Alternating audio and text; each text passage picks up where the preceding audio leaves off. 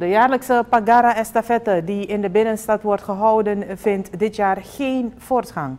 Dit vanwege de coronapandemie die wereldwijd landen in zijn greep heeft, zegt Conrad Issa en hij is directeur van Lucky Store.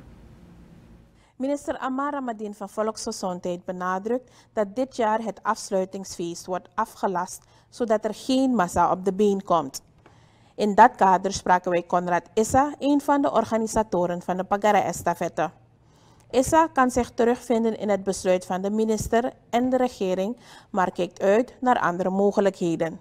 Een van de opties was, uh, die we hebben besproken was om bijvoorbeeld ergens in een uh, stadion, een dichte ruimte, zonder publiek, uh, met de media erbij, Pagara-estafette te doen die live op televisie en via social media uitgezonden zou kunnen worden.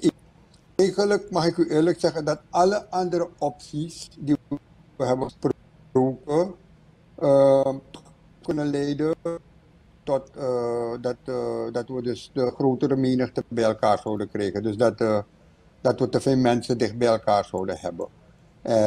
Waarbij we dus de social distancing niet zouden kunnen garanderen.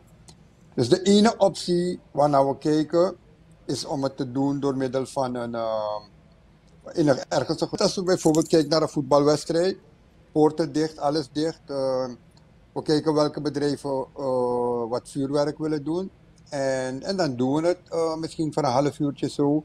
Om zodoende toch dat oudjaargevoel te kunnen beleven van die Pagara.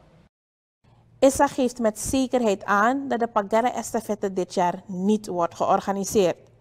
De coronacrisis heerst nog steeds in de wereld en wij moeten zoveel mogelijk voorkomen dat er toeristen naar Suriname komen, zoals elk jaar het geval is.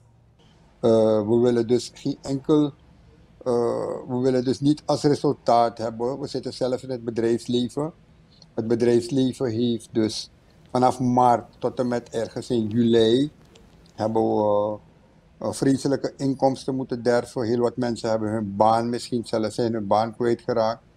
En het is heel onverantwoordelijk om voor één heel leuke dag, dat we allemaal erg op genieten, dat is de oudejaarsviering, om dan daarna weer een paar maanden achteruit te gaan met uh, de vele infecties. En uh, ja, die tweede golf die we nu in Europa zien, uh, kan Suriname als land, uh, vooral een land in een crisis, we kunnen dat gewoon niet aandoen. Dus we hebben dus onze verantwoordelijke schoenen aangedaan en hebben het besluit vroeg genomen, zodat iedereen ook weet dat, uh, dat wij achter de maatregelen van de regering staan. De directeur van Lucky Store, dus Conrad Issa. We spraken hem naar aanleiding van het besluit van de regering om de Pagara-estafette dit jaar niet te organiseren. De organisatie kijkt uit naar andere mogelijkheden om toch de Oriari-sfeer te beleven.